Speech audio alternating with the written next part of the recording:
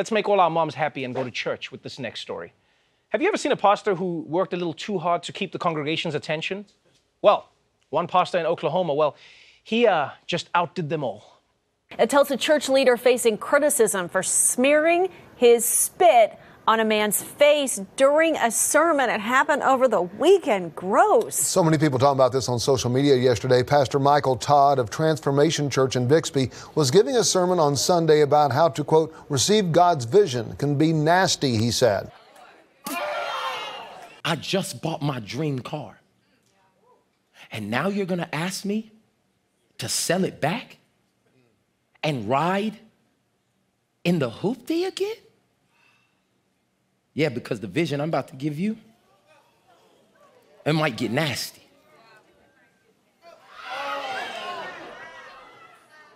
Well, the pastor says while he was trying to make a point in his sermon on Sunday, he realizes that he crossed the line, and the guy on stage, that was his brother. How is COVID still spreading in America? We're doing everything right. Huh? We're doing everything right. Look, I know it looks nasty, but I will say this pastor's point that God might ask you to do stuff that other people don't like, he's not wrong. Yeah, all these people who are like, God doesn't want you to wipe your nasty spit on people. Yo, somewhere Abraham is like, yo, he told me to kill my damn son. I wish he just wanted me to spit on him. You know how much therapy me and my kid had to go to after that? Shit was never the same. The pastor's just trying to say sometimes God will give you a message that may throw you off, like phlegm in your face. And you know, the fact that that was his brother that he was doing that to, for me, that makes it even worse. Because now it feels like he just uses the scriptures to mess with his sibling. And God sent a great flood.